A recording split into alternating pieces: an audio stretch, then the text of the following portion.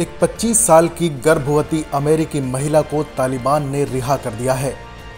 अब ये महिला अफ़गानिस्तान से वापस अमेरिका लौट रही है। इस पीड़ित महिला का नाम नसरिया बताया जा रहा है और कैलिफ़ोर्निया से अमेरिकी प्रतिनिधि डेरिल ईसा ने एक प्रेस रिलीज़ जारी करके इस बात की जानकारी दी है। पिछले कई हफ्तों से ये महिला अफ़गानिस्तान की राजधानी काबुल में फंसी हुई थी। डेरिल ईसा ने कहा है कि कई हफ्तों की कड़ी मेहनत और आपसी सहयोग का नतीजा है कि नसरिया आखिरकार अब अपने घर लौट रही है।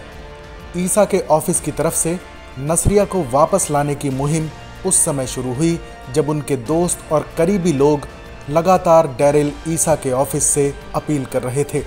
इस महीने की शुरुआत में एक इंटरव्यू में ईसा ने कहा था कि तालिबान लड़ाकों ने नसरिया के पेट पर ज़ोर से लात मारी थी। तालिबान ने उन्हें बुरी तरह से पीटा। वो पिछले कई दिनों से जान बचाने के लिए छिपी हुई थी। नसरिया जून में शादी करने और अपने परिवार से मिलने के लिए अफ़गानिस्तान पहुँची थी।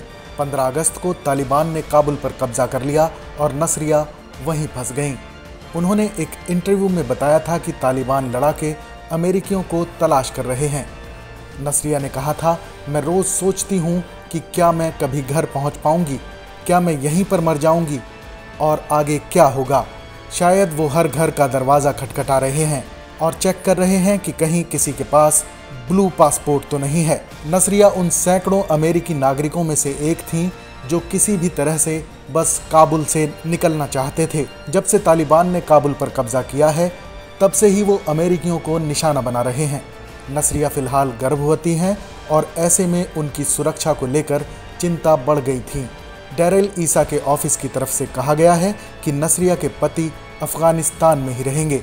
इस बीच अफ़गानिस्तान की राजधानी काबुल के अंतरिम मेयर ने कहा है कि देश के नए तालिबान शासकों ने शहर की कई महिला कर्मचारियों को घर पर ही रहने का आदेश दिया है।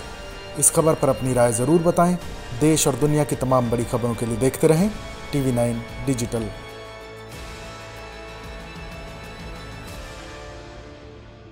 अड़ी। सोमवार से शुक्रवार शाम छह बजे, सिर्फ़ टीवी नाइन भारतवर्ष पर। हमने की गलती फिर एक बार। कोरोना ने किया, दोबारा प्रहार। मास्क, दो गज दूरी। करें अपनी सुरक्षा खुद। कोरोना टीका हम सबको लगाना है। मिलकर साथ समझदारी से कोरोना को हराना है।